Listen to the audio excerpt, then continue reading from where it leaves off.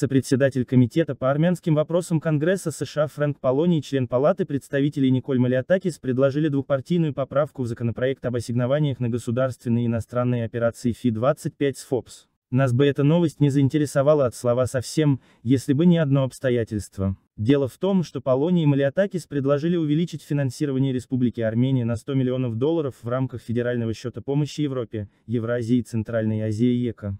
Как утверждают в Армянской ассамблее Америки, финансирование будет направлено на поддержку лиц, насильственно перемещенных из Нагорного Карабаха, которые в настоящее время проживают в Армении, поскольку были вынуждены в 2023 году покинуть свою родину из-за крупномасштабного нападения со стороны Азербайджана. Ясное дело, что формулировка, озвученная лживой от первого до последнего слова, нет никакого Нагорного Карабаха, а есть Карабахский регион Азербайджана и официальный Ереван неоднократно признавал территориальную целостность нашей страны, включая Карабах и анклавы. Да, признание это было вынужденным как результат победы нашей страны в 44-дневной войне и блестяще проведенной однодневной антитеррористической операции в сентябре прошлого года. Тем не менее, признание это имеет место быть. Соответственно, очень нелепо звучит заявление, согласно которому Азербайджан напал на Азербайджан.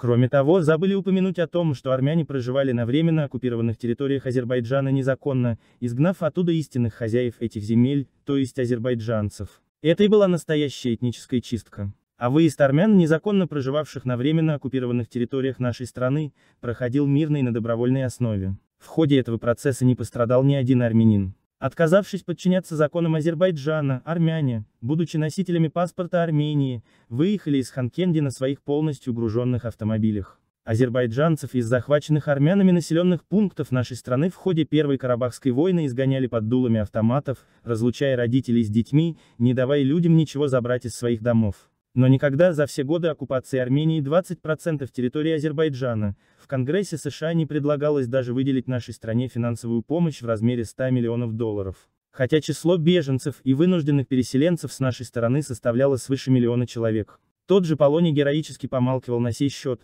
хотя является конгрессменом аж с 1988 года. Впору вспомнить афоризм про проповеди и заповеди. В целом, случайно ли эта инициатива конгрессменов Полония и Малиатакис?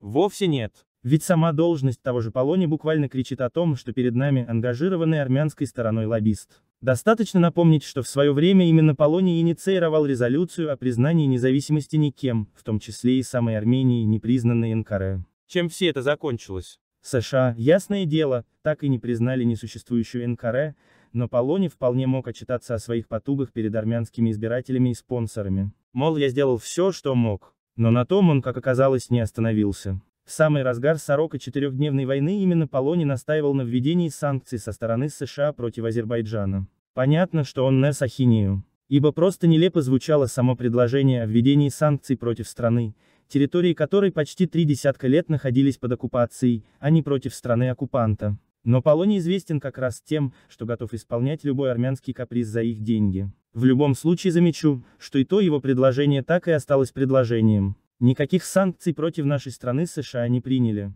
И вот сейчас мы видим новые выкрутасы этого проармянского конгрессмена. Случайно ли они? Вовсе нет. Дело в том, что выборы в Палату представителей США запланированы на 5 ноября 2024 года. Голосование пройдет во всех 435 округах в каждом из 50 штатов. Победители выборов составят 119-й Конгресс США, в который Полоний и Малиатакис явно захотят пройти снова. С помощью армянской диаспоры США, перед которой сейчас они и прогибаются.